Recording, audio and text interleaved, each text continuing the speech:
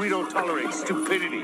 Got that? Yes, I think real family don't make you owe shit.